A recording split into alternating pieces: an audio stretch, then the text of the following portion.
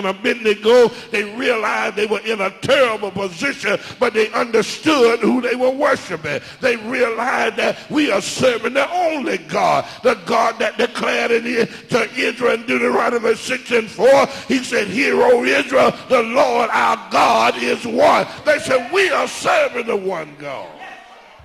And we refuse to serve another God.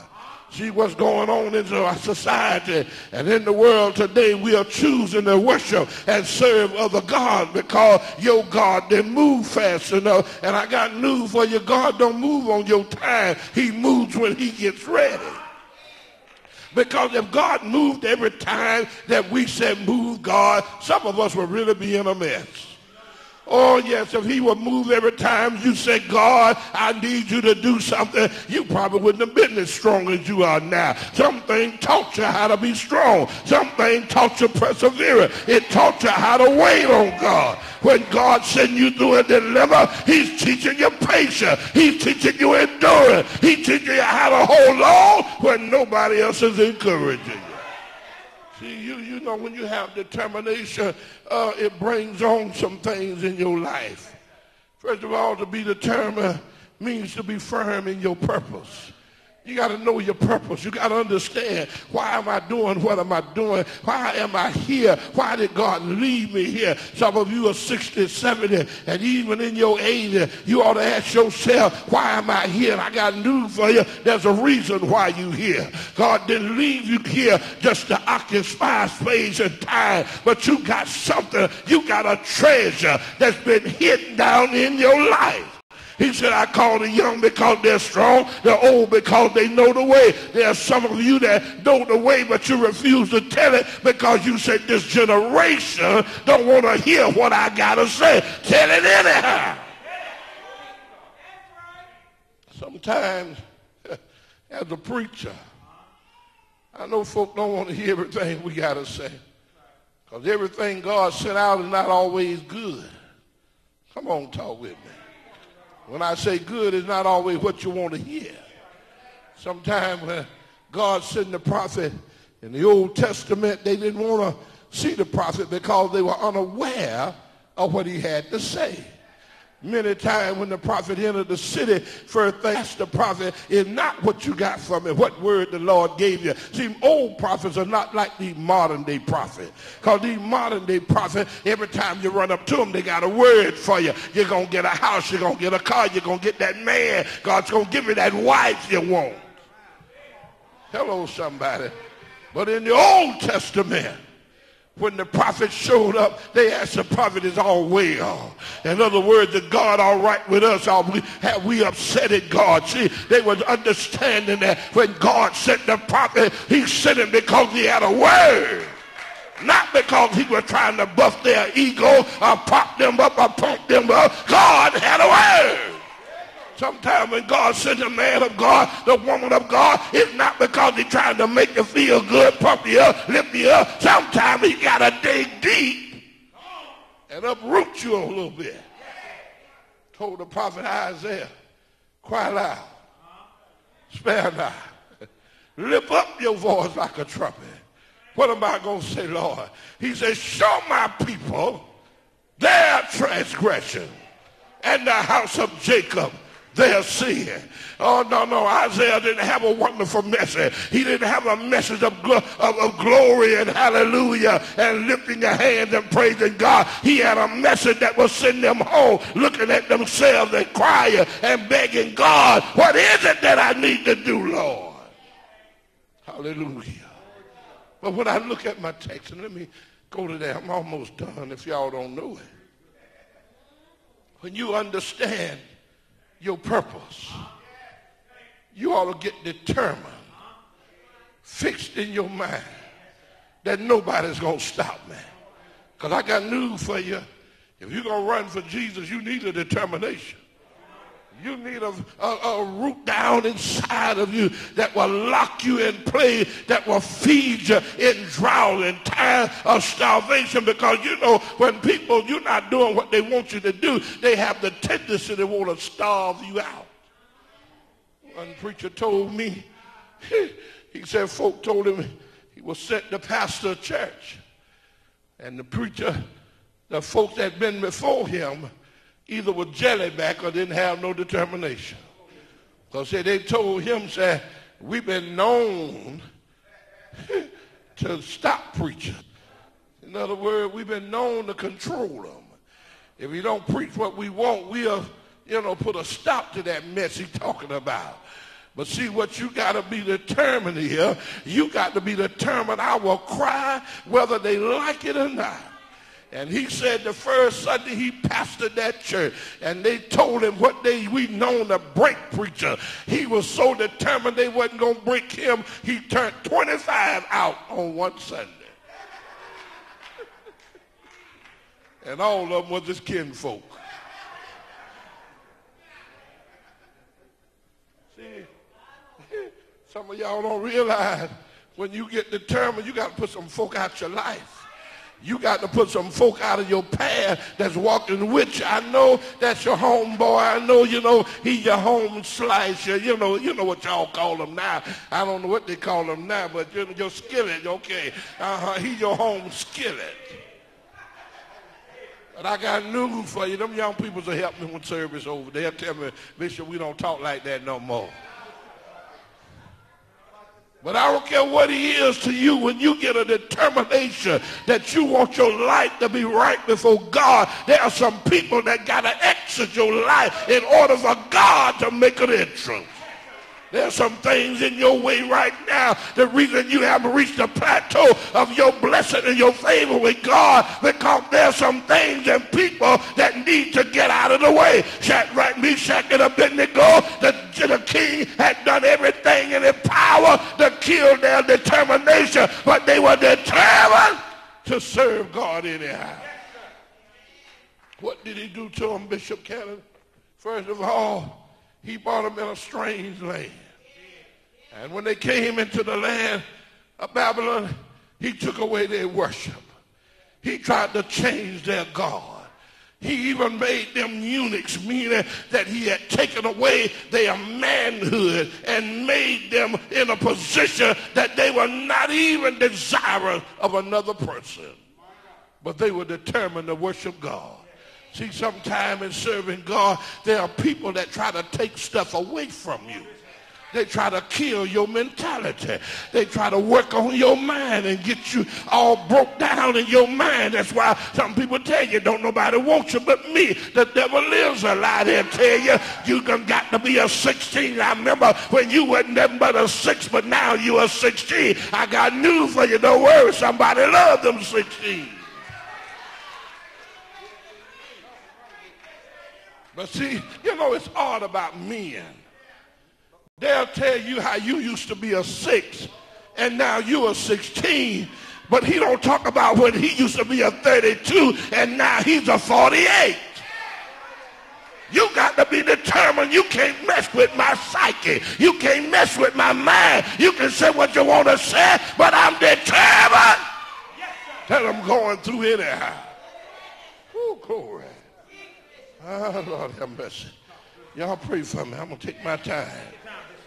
Huh? Sometimes there are demonic forces that are assigned to your life to tear you down. He'll tell you how many times you've been married and divorced and how many times you've been, you know, put out and how many times folk didn't like you, how many folk done quit you and left you alone and how many times you've been up in the house by yourself. But you got to tell yourself in your own mind that I'm determined I'm going to make it anyhow. If I have to make it by myself, you don't need all them folk. Sometimes you dragging along folk that's going to kill your destiny. You dragging folk along that's going to bless, that's up your blessing. There's some people designed to mess you up. They're just like old leech. They blood suckers. Help me somebody. Some of y'all got some blood suckers in your life. You need to get rid of them, pull them off, set them afire, burn them, throw them in the garbage, do whatever you got to do to them, but get rid of that blood sucker. They sucking the life out of you. Every time you look like you're going up, they pull you back down. Every time you feel like you're going to make it, they go to messing with your mind and you start to feel depressed and down and out. Honey, you don't need that man. You don't need that woman. You don't need that individual in your life because God got a destiny for you.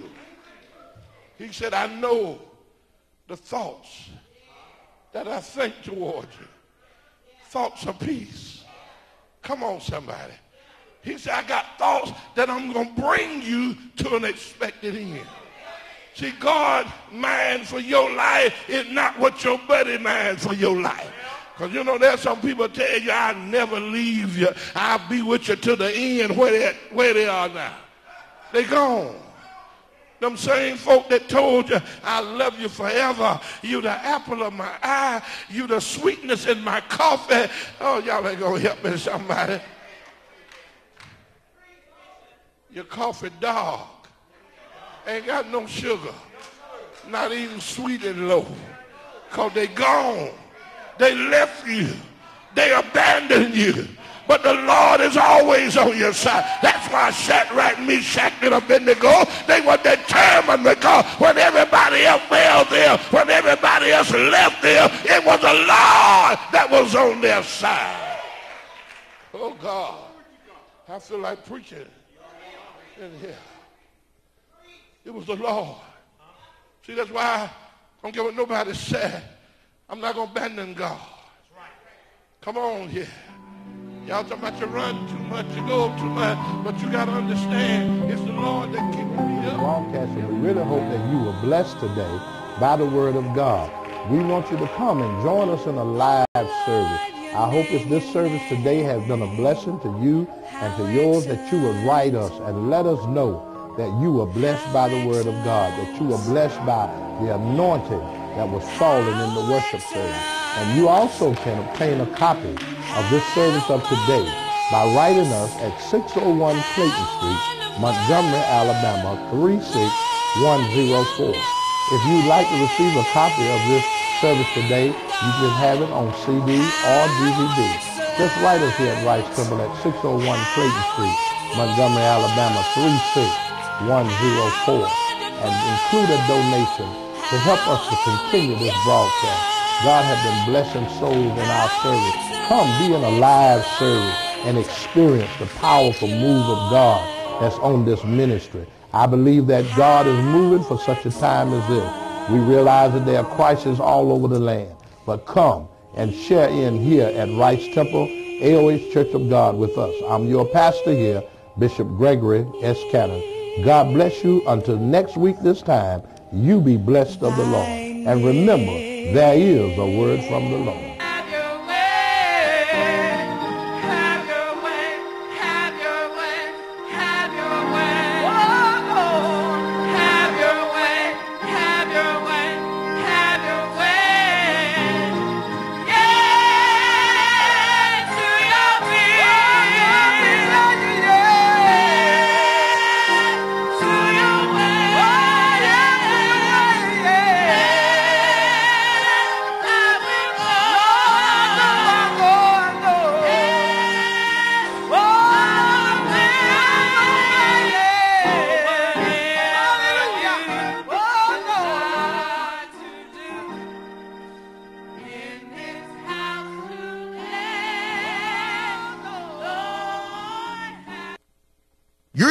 To Life Television Network, your number one Christian station.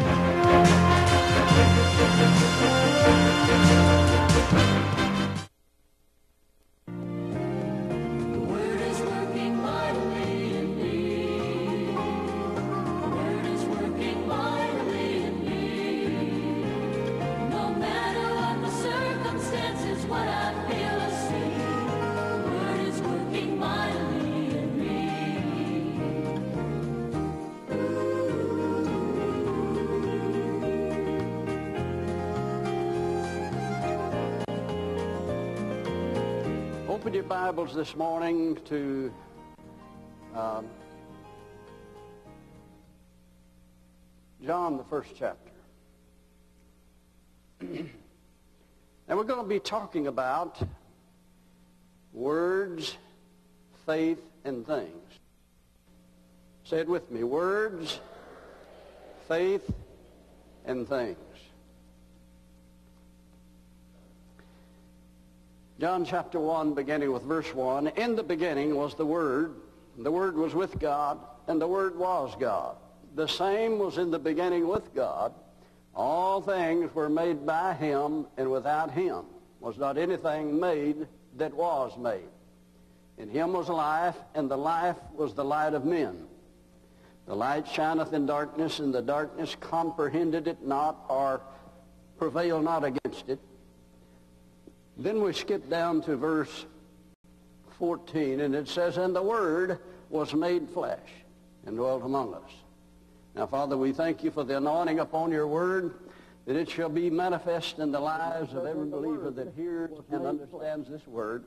And we thank you for it. We give you the praise, the honor, and the glory for all that shall be accomplished. And everybody said, Amen. Now notice, the Scripture says, In the beginning was the Word.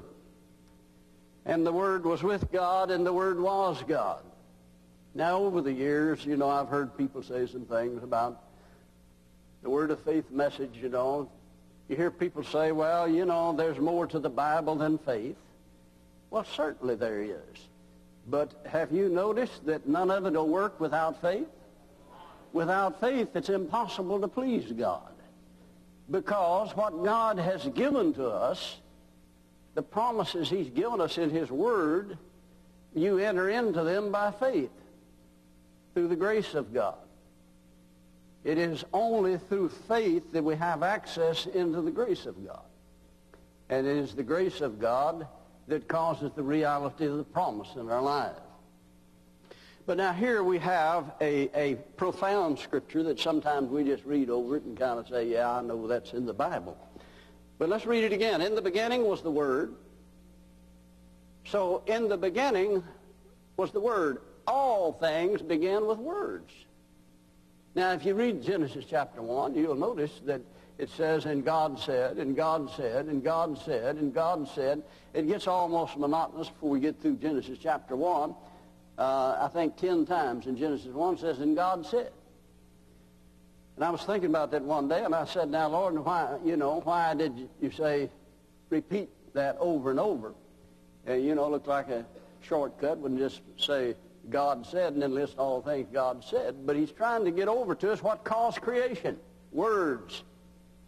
Remember, he looked out and he saw darkness, and he said, light be. And light was. In other words, he called light out of darkness. It began with words the power, the life and the power of words is something that, that we really haven't understood over the years, but, but we're learning to, to dig into some of these things and see what causes things to happen. You notice it says all things were made by him. Him who? Him the Word. Now see, if we skip over here to verse 14, the Word was made flesh and dwelt among us. Do you realize what he's saying here? In the beginning was the Word, the Word was with God. It's talking about Jesus. Jesus was the Word of God. He was the personification of the Word of God. He was the exact expression of God himself. And the Word was made flesh, took flesh upon itself, and dwelt among us. Now, how did that happen? You read the story in, in, the, uh, in Luke, the first chapter that the angel appeared to Mary and said, you'll conceive and bear a child. She said, how, seeing I know not a man? Now, she, the, she, she was not in unbelief. You know, doubts, that you can have legal doubts. See, when you just don't know, that's a legal doubt. You just need more information. But when you know what the Word said, and then won't believe it. That's not doubt. That's unbelief. Nothing legal about that. But she said, How, seeing I know not a man? Said, The Holy Spirit shall overshadow thee, and that a holy child shall be born of these because be called the Son of God. She said, Be it unto me. Now listen to what she said. Be it unto me according to thy word. In other words, she said, You found a woman that'll believe you. What if she had said, Well, now I don't believe that? God had to found another woman. She said, Be it unto me according to your word. She received the word of God by the angel. She left there and went right to her cousin's house and said, he has done great things for me. What evidence did she have? Nothing but the Word. She believed it. She received it. She conceived the Word in her spirit. It manifests itself in her physical body. In the beginning was the Word. All things begin with words. God said, let us make man in our image and our likeness. Let them have dominion. Over the fish of the sea, the fowl of the air, over the cattle, over all the earth, over every creeping thing. Well, now how are them going to have dominion? the same way that him had dominion. Now, I know that's not good English, but it'll help you understand it if you pull those words back in there. Through faith-filled words. When God looked out and saw darkness, see, you only get two verses into Genesis. You see God calling things that are not as though they were. Now, we're going to get into that tonight. Don't miss tonight. Because we're going to go through the Scriptures and show you some, under, some, some places in the Scriptures where that the profound principle of the Bible has been overlooked by many, many down through the years. It's called the principle of calling things that are not as though they were. Been small wars fought over faith and confession.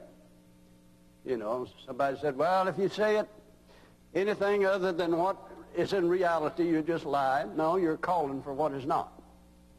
Calling for what the Word promised but is not yet manifest. And, and I got to get off of that because I'll get sidetracked. But, but don't miss tonight. Now here we see that all things were made by words. Now Jesus was a personification of the Word of God.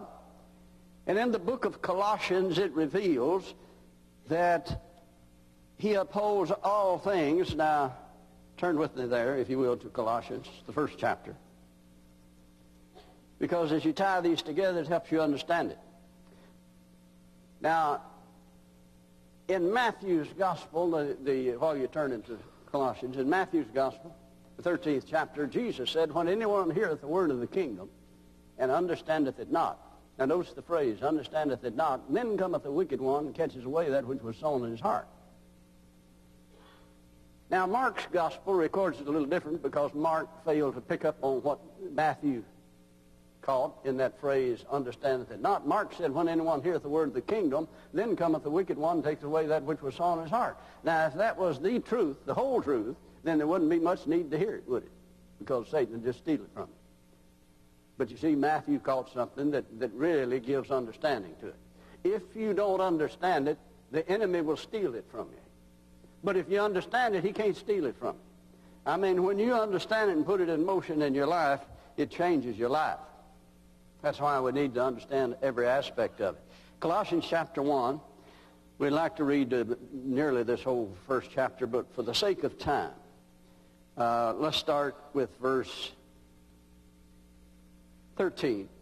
Now, back up 12. Giving thanks unto the Father, which has made us meet or able to be partakers of the inheritance of the saints in light, who hath delivered us from the power of darkness and hath translated us into the kingdom of his dear Son. God hath delivered us. Say it. God hath delivered me from the power of darkness. Now that word power there, I believe you'll find that it's the Greek word that means ability of darkness because the, the, uh, the power, uh, darkness has no authority at all. It's the ability. And that ability is deception. He has delivered us from the ability of darkness and then translated us into the kingdom of his dear Son, in whom we have redemption through his blood, even the forgiveness of sins, who is the image of the invisible God. Now, he's talking about Jesus. Jesus is the image of the invisible God, the firstborn of every cre- creature. For by him were all things created. By him who? Him, Jesus, of the Word of God. Now remember, in the beginning was the Word, the Word with God, the Word was God, the Word was made flesh and dwelt among us, and the Word created all things.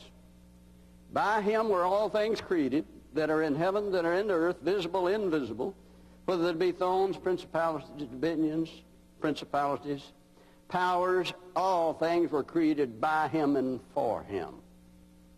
So the creation, all creation began with words.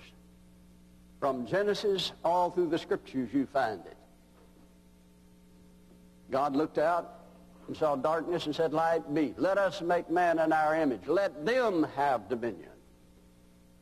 Now, God produced everything produced is after its kind.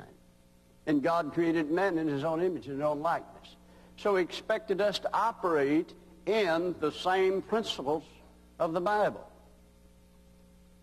The power of words are awesome. The greatest power on earth is the power of God's Word. And it's never lost any power. It's just as powerful as it was when God spoke it. The problem is, so many times, instead of letting the Word abide in us, remember what Jesus said in John uh, uh, 15, verse 17? He said, If ye abide in me, and my words abide in you, ask what you will, say what you will, declare what you will, pray what you will, and it shall be done. Now, I'm paraphrasing this. We're take, you have to take more scriptures to get all of that in there. But you see, if you incorporate the teaching of Jesus concerning that, that's all in there. Matthew 21, 22, all things, whatsoever you ask in prayer, believing, you shall receive. In other words, you're only limited to what you can believe based on the authority of the Word of God.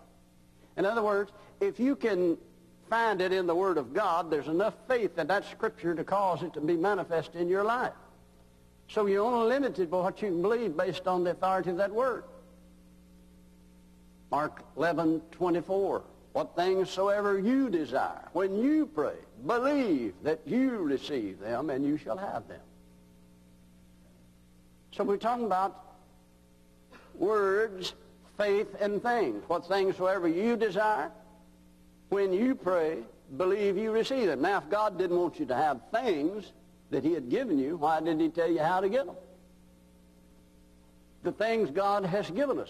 2 Peter chapter 1 tells us he has given to us all things that pertain to life and godliness through the knowledge of him that has called us to glory and virtue, whereby are given to us exceeding great and precious promises.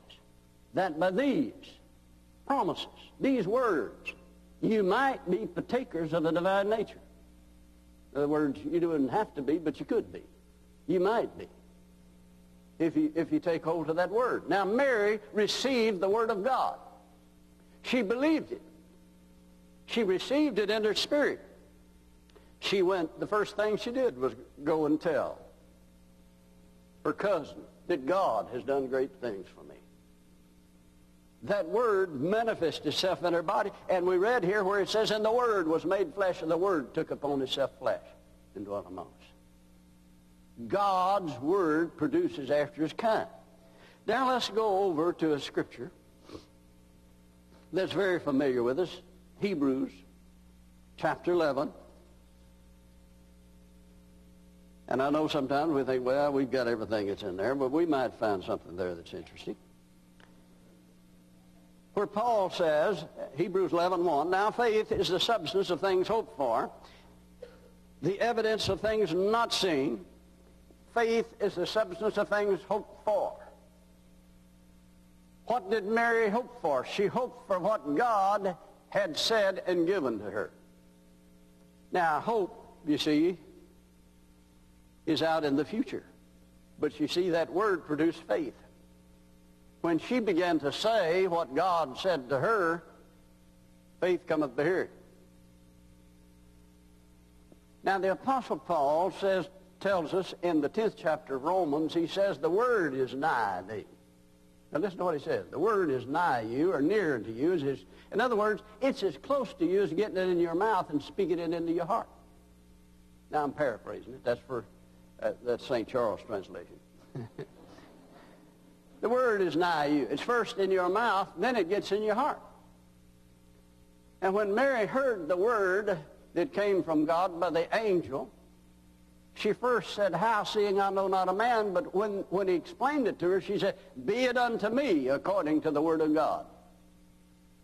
She said it with her mouth. She heard it with her ears. Now, we really have two sets of ears. Do you know that? We have the outer ear and the inner ear, and we have the middle ear. But we're talking about two of them. The inner ear is made up by bone structure inside the head. And the words that you speak are picked up by the inner ear and fed directly into what the Bible calls the heart, not the blood pump, the core, the center of your being. It's what motivates you. The word is nigh you. It's in your mouth and in your heart. Then in Romans 10, 17, Paul said, So then faith cometh by hearing, and hearing by the word of God. Now, in the preceding verses there, he said the word is nigh you, it is in your mouth, and it's in your heart. That is the word of faith which, which I preach. In other words, it's not in your neighbor's mouth and in your heart. He didn't even say it's in your pastor's mouth and in your heart. He said it's in your mouth and in your heart.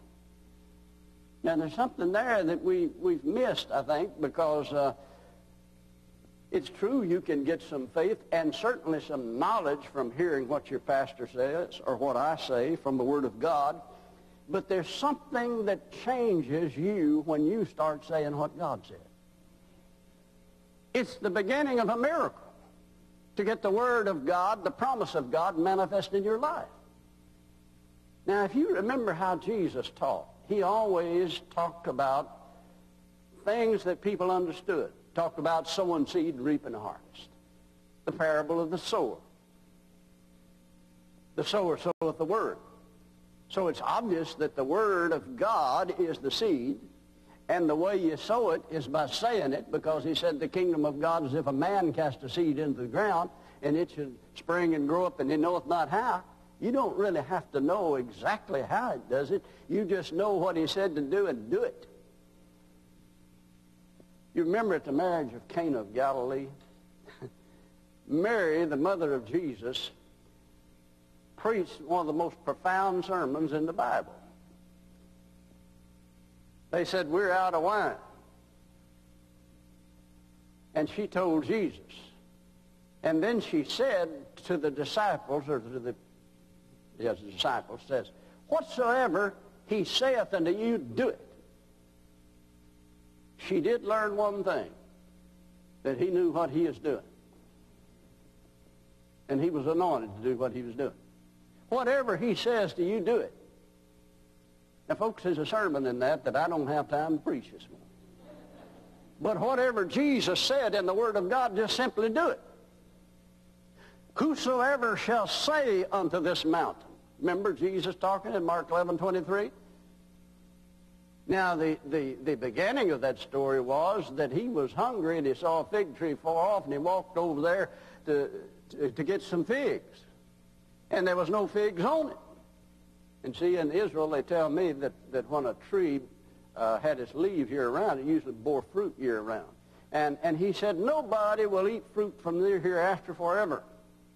And he said it loud enough that the disciples heard him. Words.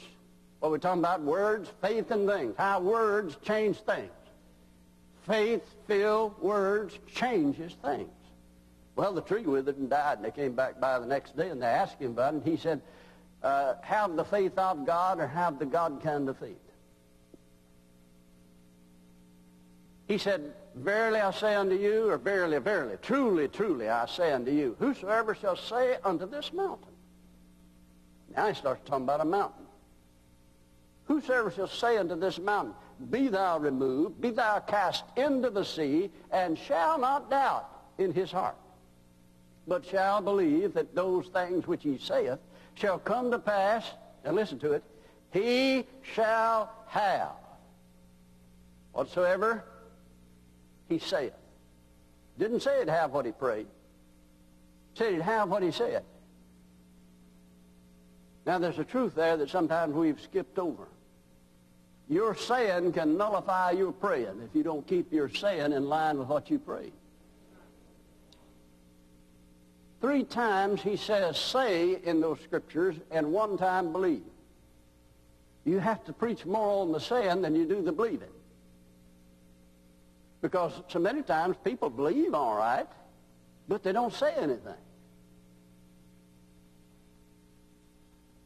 Now you have to realize that, that the hearing of the word generates faith. And I'm going to show you why and, and how it does that in a little bit. We'll talk about that just a little bit. But he said, whosoever shall say. Now somebody said, who will that work for? Somebody said, the work for whosoever. No, won't just work for whosoever. It only works for whosoever dares to say and believe and doubt not in his heart and believe what he's saying will come to pass. Now, I'm glad he said doubt not in your heart. Because you see, if he said doubt not in your head, there'd been no mountains moved in this life. Because you can't believe your head what you can believe with your heart. But when you start saying what God said in his word until it causes faith to come, and it abides in you, then you can believe things with your heart or your spirit you can't believe with your head. In fact, your head will give you trouble a lot of times over what you know on the inside. Remember, Jesus said, if you abide in me and my words abide in you, ask what you will, and it shall be done. Pray what you will, it shall be done. You can decree what you will, it shall be done. Job said, decree a thing, and it shall be established to you. The things you decree and speak with your mouth establishes it to you. It's what puts it on the inside of you. That's why Jesus said it must abide in you. It's not enough just to know what he said. It has to be on the inside of you until you believe more in what the Word said than what you see with your natural eye. The Word is nigh you. Paul said it's in your mouth and in your heart. The more you say it, the more you believe it. Words is what determines what you believe. Whether it's written word or whether it's spoken word. But the spoken word seems to be more powerful. Now remember, just, you know, when you were going to school, or when I was going to school anyway, they had us quote the multiplication tables over and over and over until we knew them by heart. They knew back then that what you say long enough will get in you. And then you don't have to, you know, get your pencil out and, or get your oranges out and apples and count them to, to do multiplication because it's in you. It abides in you. But so many times people know what the Word said. Well, yeah, I know the Bible said give and it shall be given unto you, but, but I gave and here's what happened to me. And they cast out the Word in favor of first experience 4-7. Now that's a dangerous thing to do. But the word said, give and it shall be given unto you. Yeah, but my car broke down when I gave more. Yeah, Satan came to steal the word. And if he can get that word out of you, and if he can get you off the word, see, don't cast out the word in favor of experience. Stay with the word of God. Regardless of what happens to you in life, that never changes the word of God. The word still says the same thing. But if you'll say what God said in his word concerning the circumstances of life, eventually it will change what happens to you. And you'll live out the reality of the word of God. Can you say amen? Hallelujah. Well, we're talking about words, faith, and things. God's word gets in your heart and produces faith for the things that God has given you. Now, the way that gets in your heart it's in your mouth, and then it's in your heart. The word is nigh you. It's in your mouth and in your heart. Now, let's go over to, to Romans, the third chapter. Let's talk a little bit about the law of faith. Faith is a law. Paul talked about faith being a law. I'm glad you could join us for the Concepts of Faith broadcast today. Now, before we leave the broadcast, I have a tape offer this week that I'm excited about. Uh, we, we've talked about words, faith, and things. Now, we have a two-tape series that's called Words, Faith, and Things.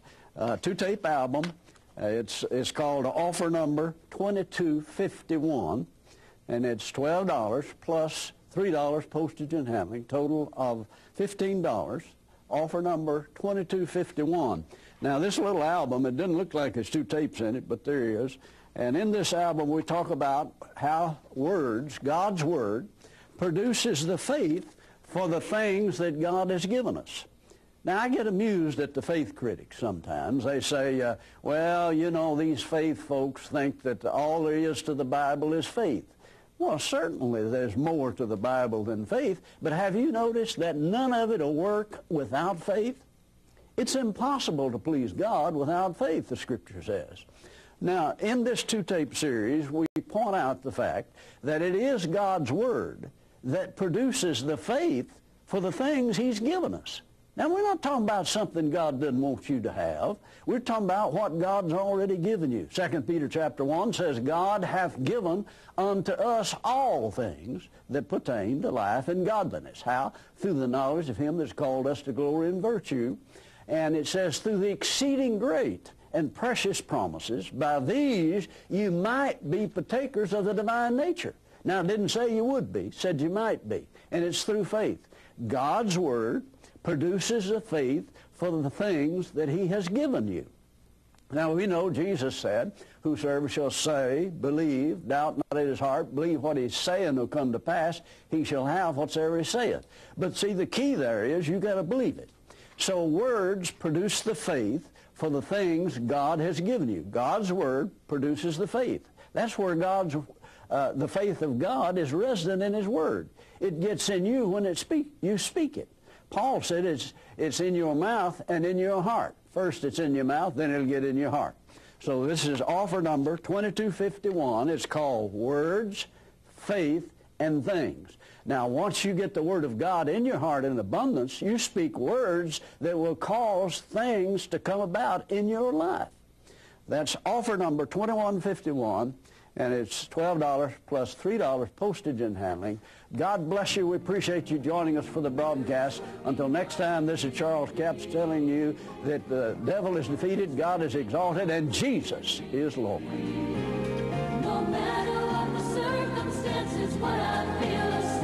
To order the product offered on today's program, send your check or money order to Charles Capps Ministries. Or to place your order on Visa or MasterCard, call 1-877-396-9400.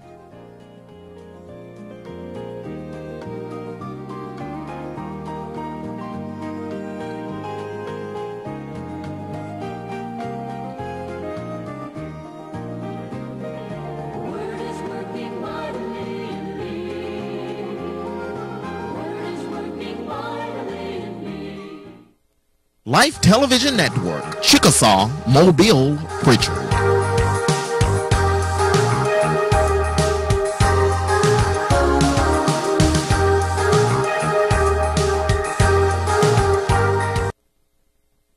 Grandma, can you come out and play? Sure, Ellie. Oh my, you might want to come here and help Grandma. What's the matter, Grandma? Can't you stand? Oh, sorry, honey. It's my knees. They don't work the way they used to. Does this ever happen to you? Are you on Medicare? You may qualify for a pain-relieving knee brace at little or no cost to you. Call the Health Hotline to see if you qualify. Our friendly agents are standing by 24-7 to help you. We also have braces for your shoulder, ankle, or back pain. And if you're covered by Medicare, you may qualify for free delivery. Grandma, slow down. I can't keep up. Maybe you can use a knee brace too, Ellie. Catch me if you can, kiddo. Call now to get your pain-relieving knee brace. Operators are standing by. Call 800-362-1572. That's 800-362-1572. Again, 800-362-1572. That's 800-362-1572. We believe that all children deserve a bright future and the opportunity to pursue higher education. That's what my husband believed. His beliefs and his legacy have become the mission for the Robert C. Blake Senior Scholarship Foundation. The R.C. Blake Senior Scholarship Fund was founded in honor of my father, Bishop Robert C. Blake Sr., to provide opportunities for young people who have the desire to excel and the potential to succeed. As a family, we are encouraging every high school senior that's intending on going to college to visit rcblakesscholar.com to apply and to get more information. My husband loved and believed in you, and so do we.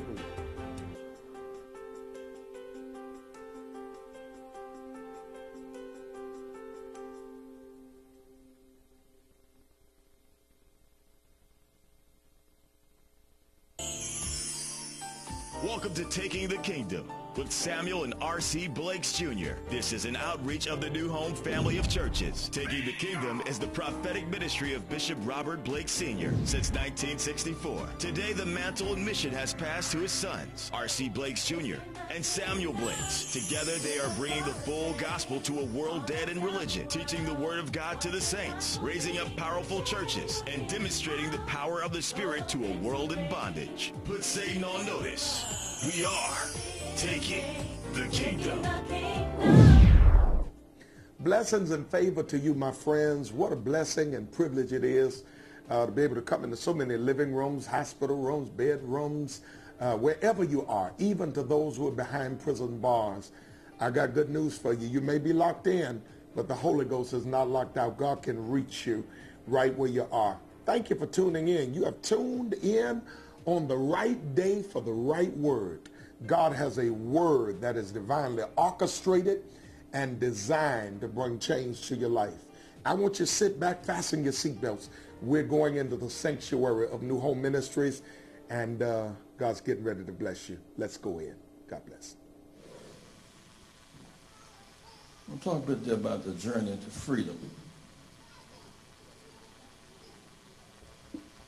We tend to know an awful lot about God blessing the Jews with the journey from slavery to freedom and less about our own. Every January 31st, December 31st, there should be a mass meeting of blacks to port in New Orleans because literally thousands of us were dropped here into slavery in New Orleans. Some people say in a very trite way, they say, well, you know, we came in different boats, we're in the same boat now. That sounds kind of cute, but that's not reality.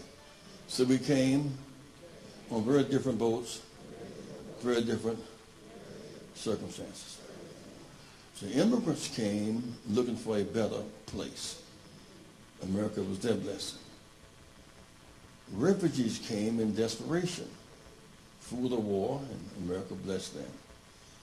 Mothers came as contract. They worked for somebody, brought them in, they work X number of years, they get free. So we came as an enslaved people. No one ship was like our ship. Our ship was full of people being sold into slavery, not delivered into freedom.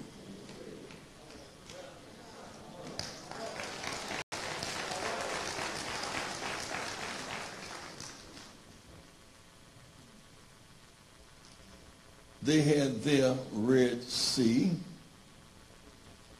We had our Atlantic Ocean.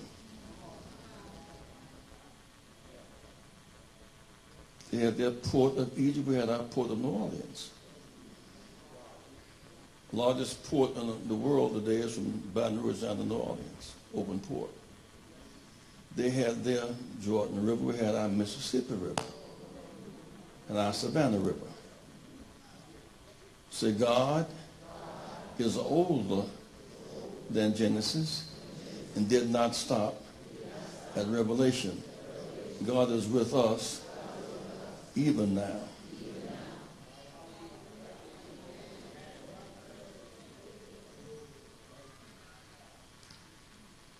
The chief blessing for the biblical people was freedom. So not food, freedom. Not status, freedom. When God frees the people, that's the chief blessing. Bible says, and God said, we thank God for putting his mighty hand in delivering us from slavery. When I was a little boy, the big hero was Jack Robinson. Before that was the NBA, before that was NFL, it was baseball. Jack Robinson came into white baseball. I say white baseball because it was, so there were three leagues. Four, so there were four leagues. African American leagues, called Negro leagues, white leagues, called major leagues, Latin American leagues, Japanese leagues. They were white, black, Latino, and Japanese. So when we joined, see, when we joined the White League, we didn't know how good baseball could be until everybody could play. We didn't come to the Dodgers to learn how to play baseball. We, we, we came starting.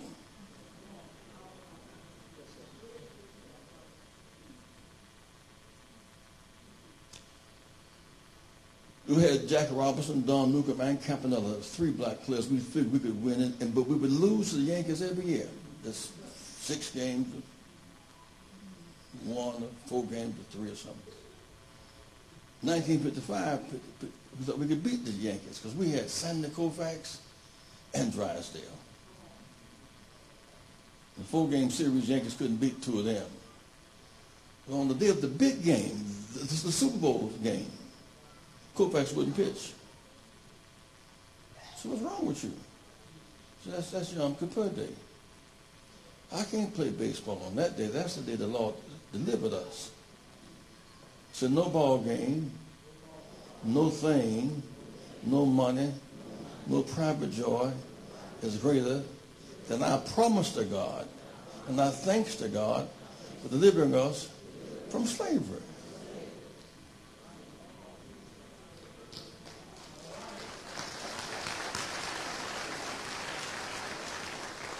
Our deliverance tends to mean, see, our deliverance tends to mean hammocks and greens on January 1st and a ball game.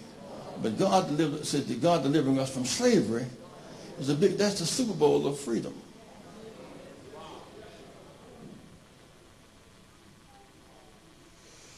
How many of you knew your grandparents? Raise your hand. Knew your grandparents? Raise your hand.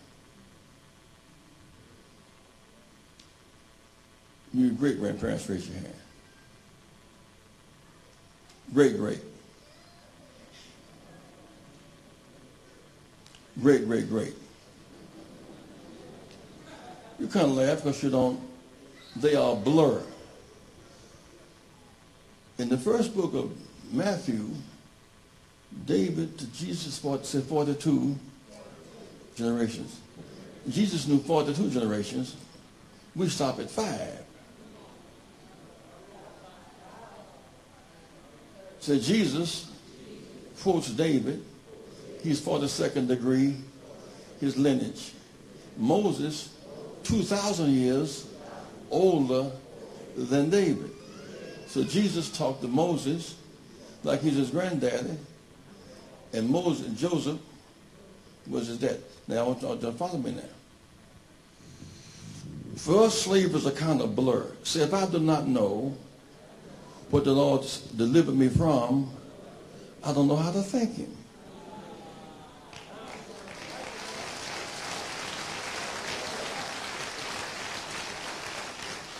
Said thanking God for a new car, a new suit, and a trip ain't quite like thanking God for freedom from slavery.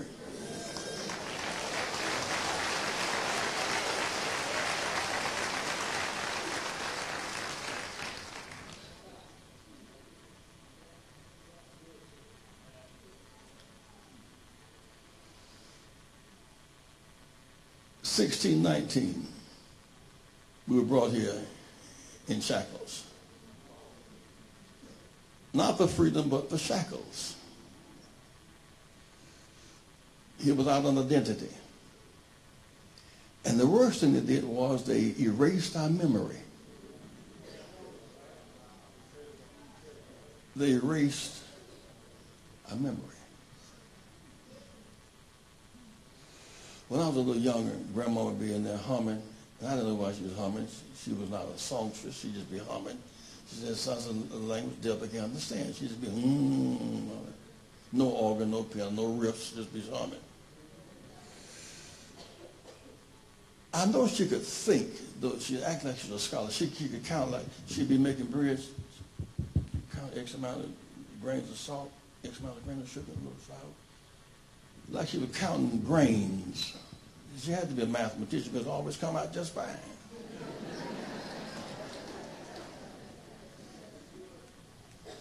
And that's why she would shout without, see, grandma could shout without organ. See, if I think, if I think about the goodness of God, I can thank God for his goodness. But if I can't think, I can't think. If I can't think, I can't shout. Many of us got PhDs in irrelevancies and trivialities. She could think about how she had come out of slavery. See, if you can think, see, if you can think about God, really think, you really think. Let me put this another way. Someone turn the fan off, please. Air off, please.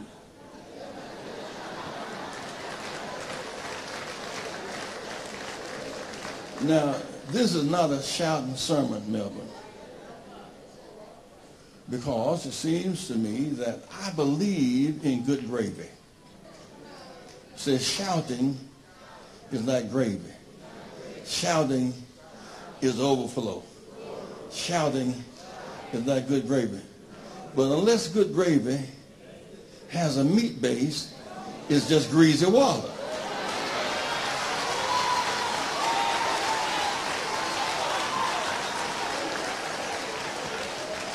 Say gravy must have a meat base or it's just greasy water. So, so I'm trying to little, little meat base in.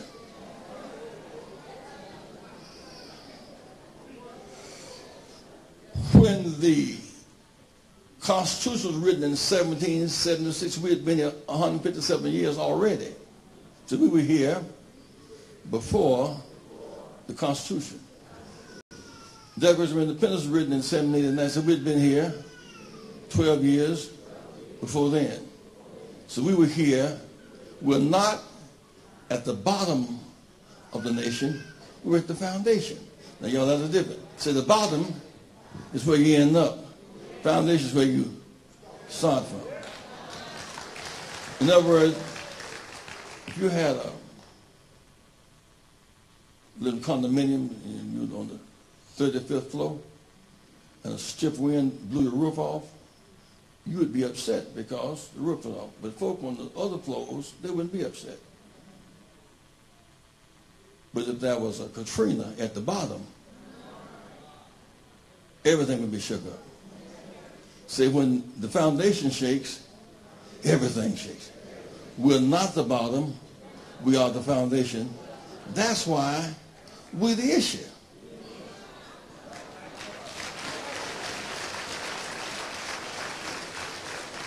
The biggest discussion in 1789 was what should we do with them? What should we do with them who have driven our Indian cotton to the top of the world? What should we do with them?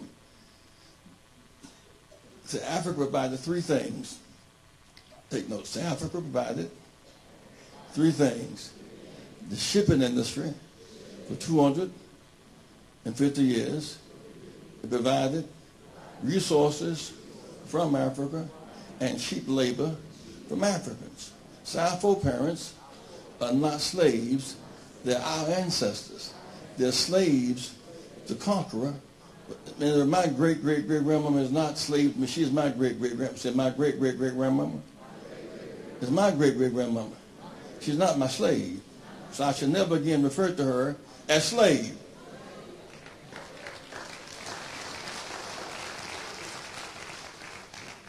You bear with me a minute?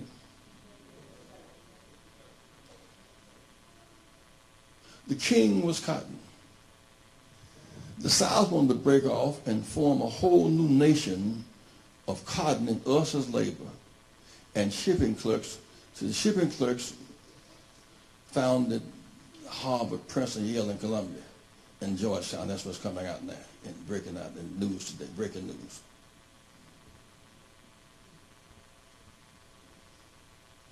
And then they went a step further. So when we establish our, our, our preeminence as cultivating cotton, we became valuable. We're more valuable to our oppressors than to ourselves.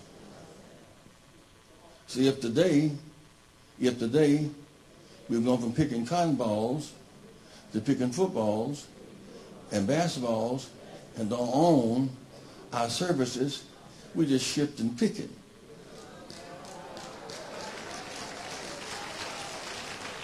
Thirty-two NFL football teams, right? We own none.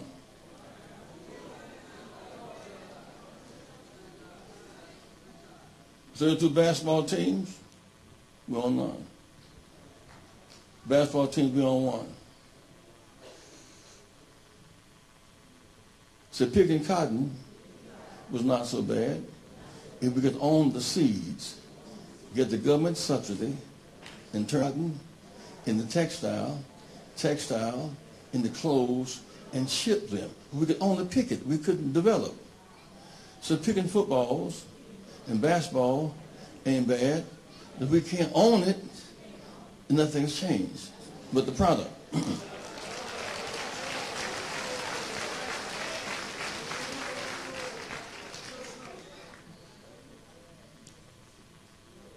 Slavery.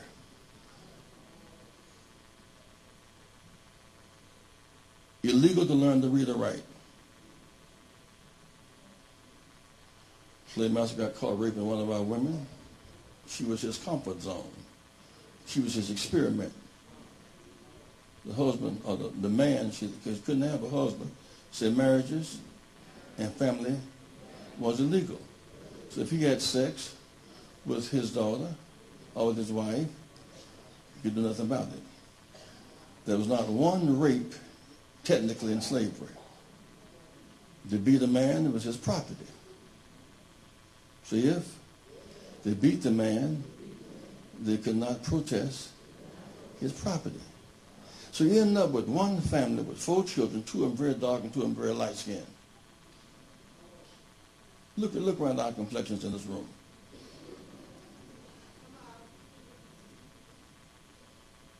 We do not look like Nigerians, like we're from Benin. We look like we're landing in New Orleans.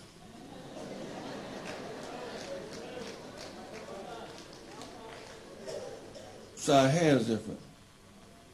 Our skin color is different. So we are a people not based on color, but culture and relationships. So, you, so it's all right to a dark skinned Negro marry a light skinned lady and vice versa because we, so we are a people not based upon complexion, based upon culture. Jack and I have five children. All seven of us are different colors. And, and, and no one, it, it doesn't affect anybody. So nobody in the house is affected. Seven people in the same house, all different complexions. That's the lineage of slavery. Use black men to have sex with black women to make other little slaves. If they were sick, throw them away. If they were strong, put them to work, or sell them. You make a boy, and they sell your son. You can do nothing about it. You had no, no right in court. So strong boys pick cotton, were sold to the, to the neighbor plantation. Remember Strom Thurmond some years ago, this lady, Miss Washington, went to South Carolina State. She was Strom Thurmond's daughter. They finally put her name on, on the statue in South Carolina a few years ago. So, so, so young black girls were comfort zones, an experiment for slave masters. So Me Too should started a long time ago.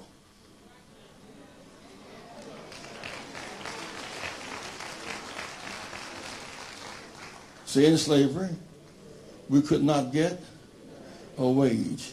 Illegal to get money for work. Had no health care. We got sick. We died. My grandmother, Brother Sam, grandma, didn't have, a, didn't have a birth certificate because she was the last of 13 children. She was sickly. They thought she wouldn't live. She didn't deserve to live. So she, she, she, she, she hopped along. She had my mom at 13. I'm discussing the erased, say slavery, erased our memory. Now, just that's too far back. Say every, every cell one of our ancestors is downtown in the records in New Orleans. So because on every ship, the, the government taxed the ship and the cargo. Every ship that landed, the product got taxed. You got taxed according to how many products are on your plantation. So if they knew how many of us left West Africa, how many got thrown in the ocean, how many landed in New Orleans, how many went to the sugar plantation, how many went to the cotton plantation. Talk to me, somebody. I want y'all to hear me. I, I know this ain't shout material. I just want y'all to bear with me for a minute. I'll, I'll, I'll, I'll let y'all let y'all go and watch the Pelicans or something after a while. But I got I got y'all trapped right now for a minute.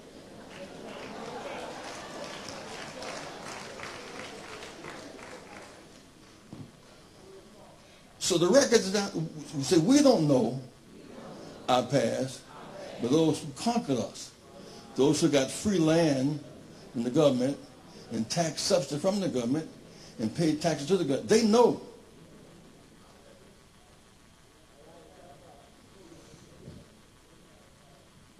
That's, that's, a, that's a scripture that's kind of sad.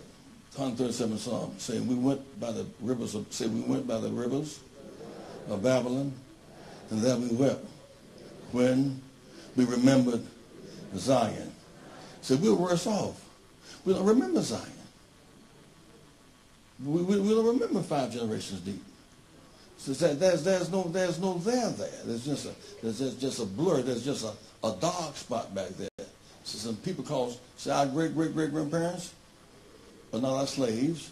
Without them, it would not be us. They're our ancestors our parents, not our slaves. That leads into say everything fundamental to America is based upon slave trade. This Black History Month. We're going to celebrate this thing today.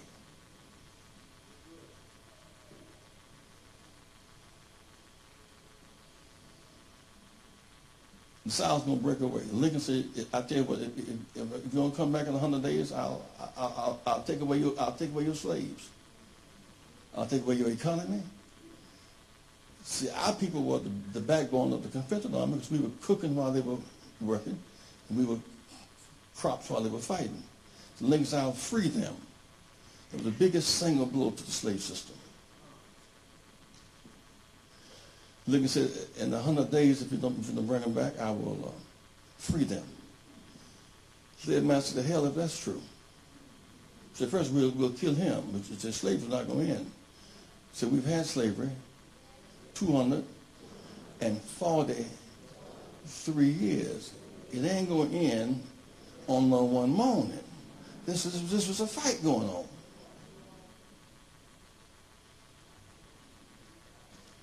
Our people have been waiting to hear a president with a full military authority give the order to free us. After all, we were enslaved by the government.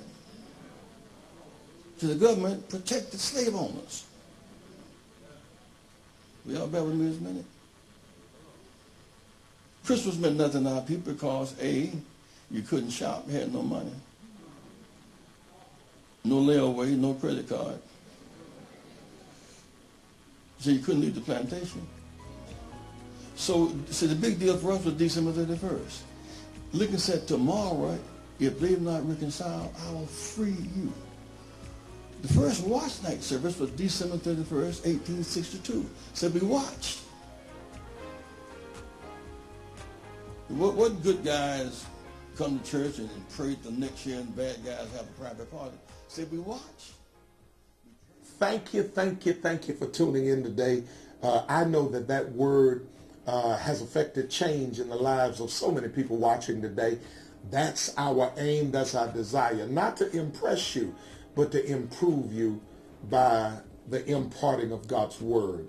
Listen, uh, if you're watching today and you're in need of prayer, I want you to sit down and call the number at the bottom of your screen there were counselors who were sitting, waiting to pray for you and waiting to pray with you and usher you into the things of God. Uh, there may be someone today who's unsaved. Maybe you're in need of salvation. I want to pray with you today. I want to pray that God will come into your heart and come into your life and that from this moment on your life will not be the same. Will you pray with me? Close your eyes. Repeat after me. Father God, come into my heart. Take over my life. I surrender my life to you. I surrender my members to you. I ask you now, God, to forgive me of my sins. Wash me. Cleanse me. Make me whole and holy. And I thank you now that from the top of my head to the soles of my feet, I am saved. I am saved. I am saved. My brother, my sister, if you prayed that prayer with me, let me tell you, from the top of your head to the soles of your feet, you're saved, you're saved, you're saved. Now what you need is a good church to help affect change in your life. And let me tell you, one single service at New Home Ministries will change your life forever. I want to see you Sunday morning. I want to see you in Baton Rouge at 8 o'clock, 3000 Tecumseh Street. 1030, I want to see you in New Orleans at 1616 Robert C. Blake Senior Drive. I promise you, if you come one time, you will come back again. I love you. Thank God for you. And until next time, if I don't see you here on the air, if Jesus comes back, I'll see you in the air. Bless your spirit. We believe that all children deserve a bright future and the opportunity to pursue higher education. That's what my husband believed. His beliefs and his legacy have become the mission for the Robert C. Blake Senior Scholarship Foundation. The R.C. Blake Senior Scholarship Fund was founded in honor of my father, Bishop Robert C. Blake Sr., to provide opportunities for young people who have the desire to excel and the potential to succeed.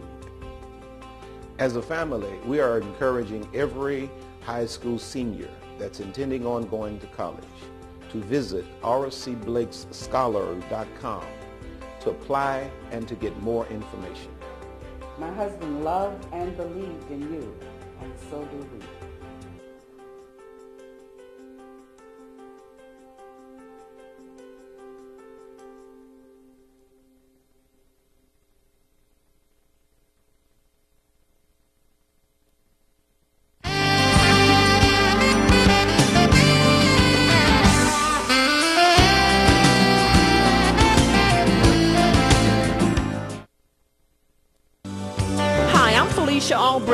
Thank you for listening to WGOK.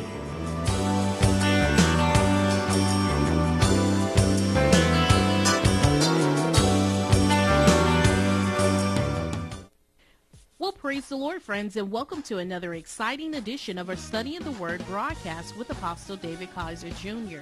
A study in the Word is an evangelistic outreach of rightly dividing the Word Church of God, located in Mobile, Alabama. Stay tuned for the next 30 minutes as we take you live into the sanctuary with Apostle David Kaiser Jr. You be blessed. When you don't know what, who is more important? Y'all it? Amen. And so you could even pray a prayer uh, like this. Lord, I, I'm interested in this area. Uh, there's something in my spirit that says that there's a certain degree of success that awaits me uh, in this particular area and this particular understanding in Zumba. Y'all, y'all got it? And so I need to know somebody who knows Zumba. Because all I have is a desire now. Right? Y'all got it? Amen. And so what God will do when you get in pursuit, he'll put you into contact with somebody who knows Zumba. Y'all got it? And then you get in there and you take the process to the next level, right? And uh, and one thing you have to now servant servant means someone who was humble enough to be led. See, you can't go on the Zumba class someone already know.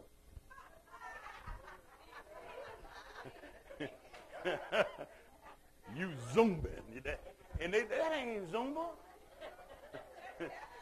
right, that, right. You can't go in the class. Tell me, I got this. I got this. Let me show you. Let me show you. You're going to be zooming right on out the door. Right, y'all getting Right? So, so when God brings you into contact with who you need to know, you got to, you got to take a different posture. Right? You got to be grasshopper. Right? And you can't be telling sensei how to kick. Right? You got to be grasshopper. Y'all, y'all understand what I'm saying? Amen. And you'll be surprised how far your humility will get you. You getting the gist of what I'm saying? Amen. You can't be jumping in and say, oh, but. No. You just hush and listen.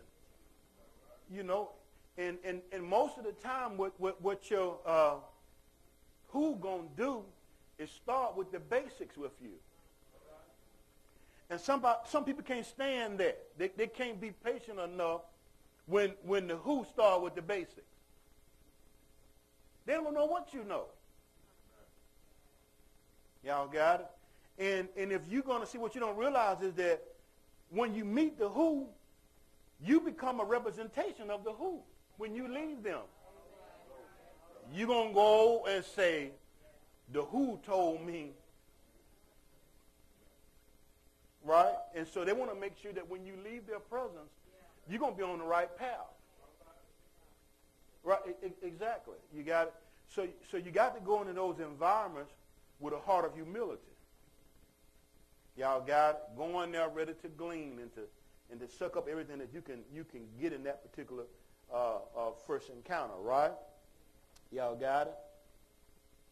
Dr. Mike Murdock said in one of his books, the difference between a season is a person. Say that. The difference between a season is a person.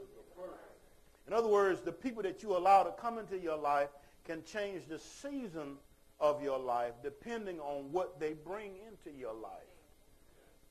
Y'all got? And that happens sometimes subconsciously and unaware to a person that ain't paying attention. Right? They allow people to come into their lives, and before before they recognize it and realize it, that person then changed the whole direction of their life. They're going in a whole other direction that God never told them to go in because they allowed somebody to come into their life and change the season of their lives. You got to know when to tell folks, I'm not in that season. That's I'm not in, that's not my season. You got it? Amen. And so so we, want to be careful, right? Uh, in Joshua 1 and 1, four individuals are mentioned. Moses is mentioned. The Lord was mentioned. Joshua was mentioned. And Nun, Joshua's father, was mentioned. Y'all got it? All of those individuals were instrumental in Joshua becoming a success. Y'all got it? Now, we know uh, that the Lord was the most important one. And we may talk about that in, in a few moments. You got it. But the Bible said Joshua uh, and Nun, Joshua the son of Nun. Right? And so what that tells me, and, and whenever you read scripture and it, and it starts talking about genealogy, uh, so-and-so begot so-and-so and so-and-so begot so-and-so. And so what it's saying is all of those individuals were instrumental in that, in that family tree. They made significant impact. Y'all, y'all got it to the next generation. And so here, because the Holy Ghost chose to give Joshua's father props, that means he must have raised him right.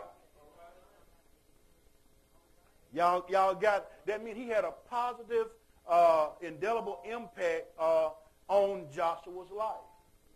I believe that prepared him for Moses. Y'all, y'all got because Moses wouldn't have just picked anybody. Right? He just wouldn't have picked nobody with their pants hanging down sagging. Right? Because what you have to understand is, is, is Joshua was allowed in the inner circle. Now Moses leading two million people. You got him, but he picked Joshua to be in his inner circle. And, and frankly, aside from Sister, Sister Moses, you couldn't get no closer to Moses than Joshua. Y'all, y'all see that? Amen. And so, so, so, so that meant that that his father was was was significant in his life. The Holy Ghost chose to to, to talk about him, right? Is is that all right? All right, and then, of course, in the Bible talks about uh, Moses and it talks about the Lord. And so my point is, in every stage of your life, uh, God has positioned certain people to help you to become a success, right? And you need to pray and ask God to help you uh, by way of the Holy Spirit to recognize them uh, when they show up. Y'all got it? In every stage of your life, God has positioned certain people to help you uh, to become a success in that stage that you're in uh, at that particular time. Y'all got it? And, and it's a golden opportunity. You know, I was, uh, oh man.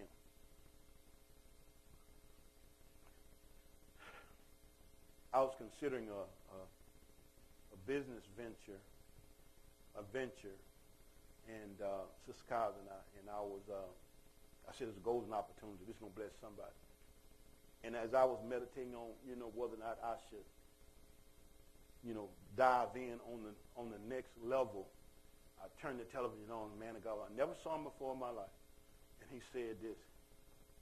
He said, a lifetime opportunity has to be taken advantage of during the lifetime of the opportunity.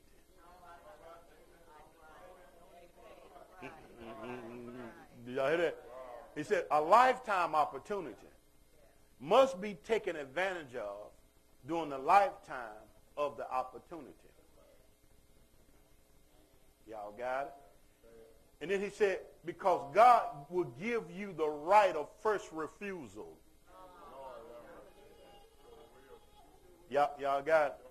See, if you don't take advantage of the opportunity, what he'll do, he'll give the opportunity to somebody else. But he will give you, he's given all and going to continue to give all of us the right of first refusal. That means he's going to give you the option to say yes or no to the opportunity. And I'm telling y'all, some of y'all in here, God, I've given multiple opportunities. And you, through abdication of making a decision, lost the right to first refusal. And so he said, God will give you the right to first uh, to uh, uh, first refusal. You know, the Bible said about two or three witnesses, and the Holy Ghost hit me three times in a row, quick. And then he said this. He said, if you don't grab a hold to an opportunity while it's passing by, it will pass you by. It'll pass you by. You got it? And I said, oh, Lord, I, I hear you. I heard the voice of God. Even though it came through a vessel I never saw, never heard his voice, but when he spoke, I heard God speaking to me. And, and so uh, I told my wife, you know, the Lord said, don't, don't let this opportunity pass by. And for me to take advantage of the opportunity during the lifetime of the opportunity because I have the right of first refusal. And I know it's first refusal because when it was presented to me, they said somebody else came up in their mind, but God spoke to them about me. Y'all, y'all got it? Amen. And so uh, my point, God have people stationed along the, every area of your life, every, every dispensation of your life, and you got to stay sensitive so you can you can hear and recognize those people when they show up because they're there. Y'all got it? They are there. Amen. Now listen, some of these people you will have a relationship with. Some of them you won't. And, uh, you know, can I confess? That part right there used to bother me because I used to want to have a relationship with the people that I felt like could pour into my life. Am I helping anybody? And, and I found out that, you know, sometimes God will have people to pour into your life, and, and, and you won't even be able to get close to them. You won't be able to get close to them, right? But you got to be able to recognize, though, even though I can't get as close as I want to, God using that person to speak to me and to minister into, into my life. Y'all got it? You know, I found out that, that, you know, successful people can only have so many people in their inner circle. So many, they, they, you know, they're just the way it is. You, you got it. It came to a point in time where where the crowd, the people in the crowd couldn't get as close to Jesus without going through the inner circle. They had to find somebody in the inner circle and tell them to go in and ask Jesus could they have an audience. And people get they get a problem with that. You know, I just can't walk in past the door. I usually could walk in the church and just and just go in past the office. Well, well, you know, sometimes you get to a point where you cannot you can't do that no more. That don't mean pastor getting high-minded or looking down his nose. Got Alex out there, he bigger than the door. You know, you can't get by. I said that, and Alex knew exactly what I meant, didn't you? I said that in a positive. That was that was male affirmation. That's that's what that was. It was.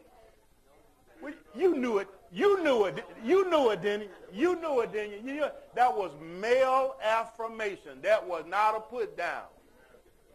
So don't be rubbing on Alex back. Yeah, like it's all right. It's all right.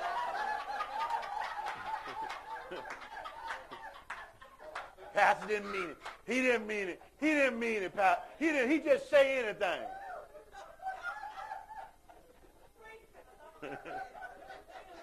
Lord have mercy. he understood exactly. He's saying, yeah, Pastor. Yeah. I know I am. I ain't. That's all, wasn't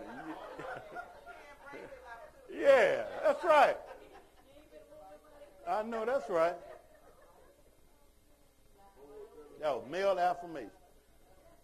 So, so listen, some people, this guy. She, she, she a loving person. And, and, you know, sometimes you don't think I'm as loving. But I am. I am.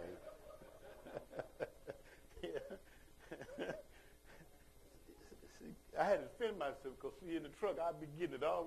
I can't believe you said that. I can't believe you said that. And I'm like, the boy all right. I'm telling you. Lord have mercy. Where am I? Yeah. All right, so some of them you have, these people, the who's in your life, some of them will have uh, you have a relationship with, and some of them you won't. And, and that's important because perhaps some of you were like me, thinking that anybody that God uses to, to, to, to bless your life or to give you instructions as it relates to being successful, you always have a relationship with them. You got it. And that's not always the case, and you can't be offended about that. Y'all got it? Uh, listen, some of them will be saved and some of them won't. Y'all got it? Because one of the things God has had to do, you know, over the years is drop certain biblical wisdom in ungodly vessels. Y'all got it? Because perhaps it may not have been anybody in the kingdom that was ready for it. You got it? I believe he does that quite often in, in the area of science and in medicine and in, in, in inventions and all of that kind of stuff. Y'all, y'all got, because a lot of times, you know, the world will be wiser than the children of, of, of, of God because they're always after something, trying to find out something, trying to, I wonder what's down there in that hole. Right, it's dark down there, it's deep down there. Throw a rock in there. Don't want to hear it hit bottom. I think we ought to go down there, oh, right? I'm like, no, no, no. Right? But somebody going down there, and they're going to find out, they're going to come back, they're going to do a documentary, and they're going to tell you what's down there. The third person, okay, going to do the documentary. But, but, but listen, sometimes they'll be saved, and sometimes they won't be saved, right? And you got to be all right with it. You know, sometimes God will teach you some things through an un- unsaved vessel. See, if you know the word, though, you know where they're getting off. Right? But don't not get what you need. Y'all, y'all got it? Amen. Somebody say, get what you need.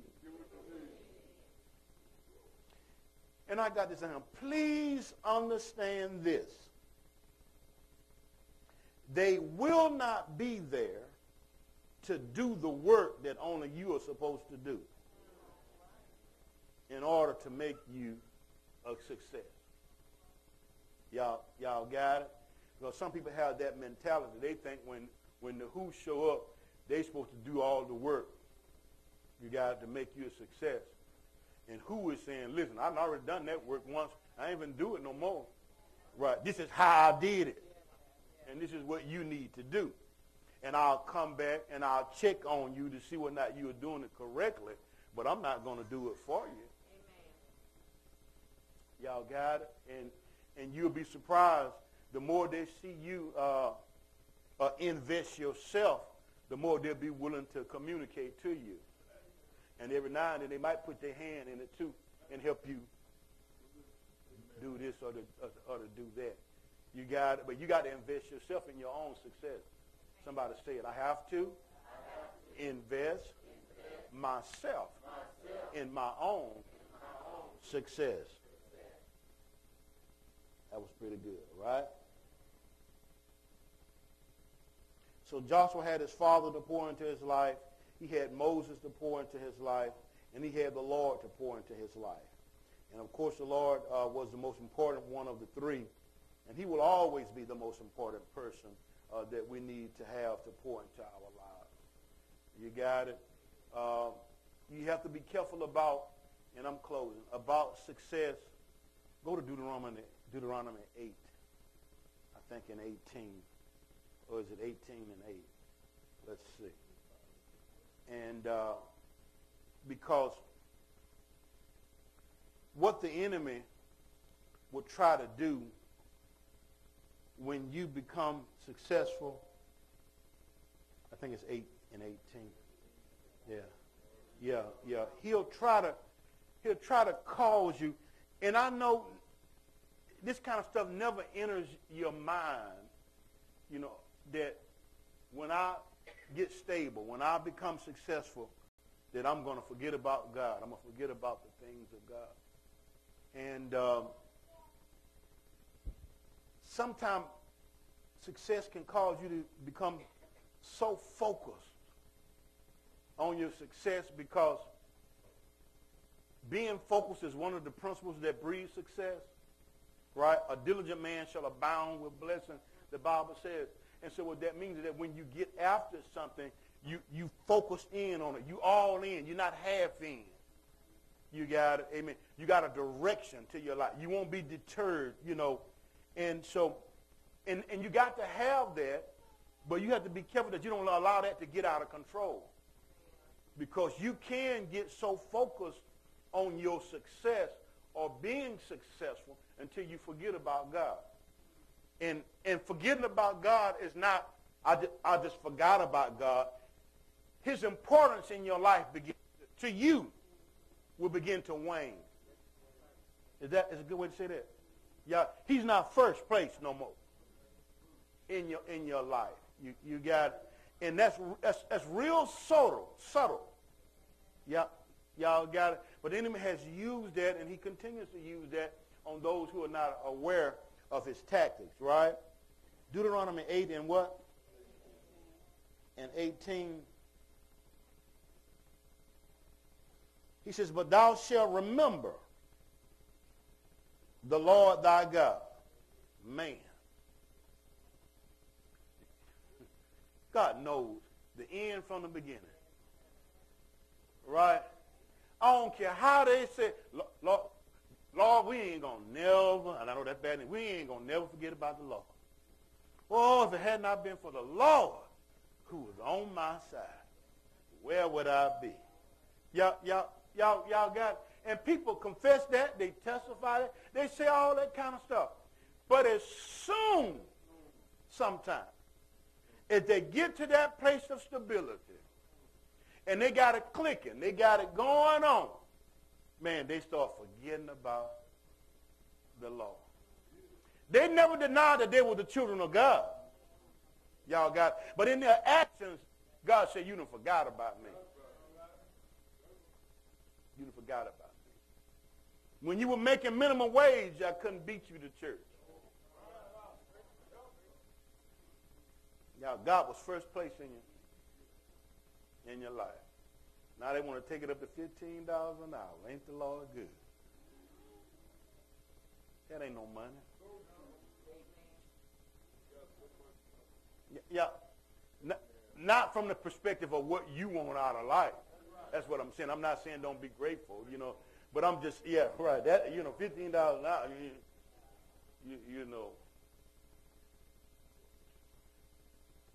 And, and and God said, look, I done looked down through time.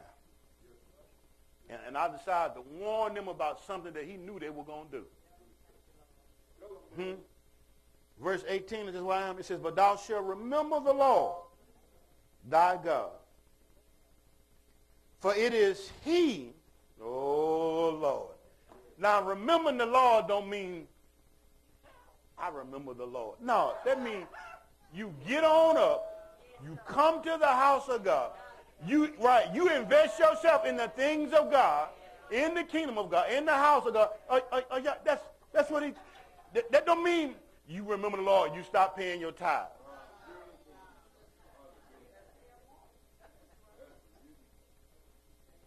And you believe in God for more. Right? But he said, Thou shalt remember the Lord thy God, for it is what? Lord, have mercy. That what? That giveth thee the power. You know, see, success will never be by your own might and by your own power. Right? If, if you acquire any degree of success, it's going to be because God gave you the power. That's why I say I don't understand that. You know, God will give you the power to go to the job, and he won't give you power to come to church. Right, right. Yeah, you do. You know, and you need to quit using me as an excuse. Doctor don't know I'm tired. You probably were tired when you went to work this morning, but you went. Mm, and worked. And God gave you the power to do that. Right? But we'll talk ourselves into, but he ain't got no more strength. God ain't got no more power left. When I clock out, the power done turned off. yeah, right, right. Y'all, okay. Say, is he to give thee the power to get wealth, right? That he may establish his covenant, which he sware unto thy fathers, as it is this day. Y'all got it? So, so a part of your wealth is to help establish God's covenant, you know, in the earth. I, am creating a, a, um, a post-cross prayer for you guys. And know, I'm going to put it to, to, some music to it, and you can, we're going to record it, and if you want it, amen, you can play it in your, you know, just to get post-prayer praying in you, believing, thanking God for all the things he's made available for you in Christ Jesus. Y'all got. And at the end of that prayer, as I was kind of wrapping it up, the other day, the Lord, and I put in there about believing for all of these things that God, the manifestation of all of these things that God has said he's already given us in Christ Jesus. And the Holy Ghost had me to put in there, uh, Oh, hi. I'm co-pastor Ann Kaiser with Rightly Dividing the Word Church, and we would like to invite you to our 2017 Sisters We Must Stand Women's Conference, which will be held right here in the beautiful city of Orange Beach, Alabama, at the Caribe Resort. So I would like to take this time and invite you to come. The dates are September the 14th through the 16th, 2017. That's right, so be sure to come and join us. The ladies at Rightly are already making preparation just for you to have a wonderful time in the Lord fellowshipping with other sisters in the Lord. So stay tuned, and our announcer will give you some pics from last year. So be blessed. Ladies, it's that time again. Time for the Sisters We Must Stand Women's Conference 2017. This year's conference will be held once again at the beautiful Caribe The Resort in Orange Beach, Alabama. We invite you to come join us September the 14th through the 16th at the Caribe for a wonderful time in praise, worship, and fellowship. We will have five dynamic speakers that are seeking a word just for you, woman of God. So grab your family and your friends and reserve your condo now. To register for your conference seat, call 251-433-0121 or contact your Rightly representative. To receive your conference discount, you must register by August 20th. Sisters, we must stand 2017. See you there.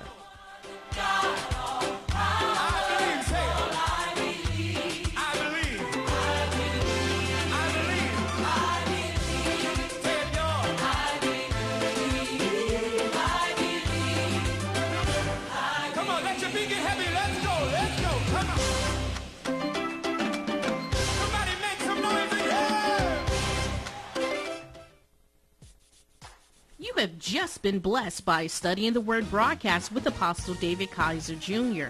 If you would like an audio or video copy of today's message, please email us at rdtwtvpros at gmail.com. Connect with us daily on Facebook, Twitter, YouTube, or Ustream to catch past shows, words of encouragement, special events, or join us live in the sanctuary. We're located at 760 Elmira Street in Mobile, Alabama. Our service times are Sunday school at 9.30 a.m., Sunday morning worship at 11 o'clock, and Tuesday night Bible study at 7 p.m. Join us at this same time next week for a Study in the Word broadcast with Apostle David Kaiser Jr. You be blessed.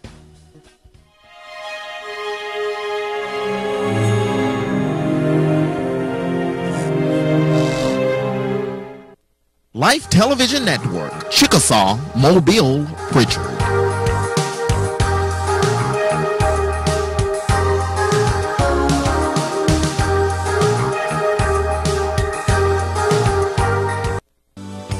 Mobile's new home for news and talk. 660 WXQW.